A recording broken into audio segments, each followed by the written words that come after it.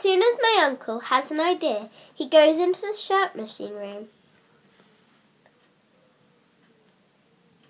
He pulls down on the on lever. Consequently, it turns the shirt machine on. Then my uncle munches on a piece of chocolate that is tucked in the band of his hat to help him think. Next, he types in his idea on the computer.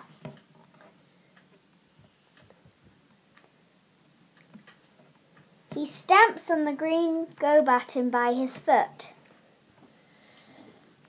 The shirt machine rumbles and goes boom parankachank, boom parankachank, boom parankachank, boom parankachank, and then it goes ziz ziz ziz ziz ziz bop.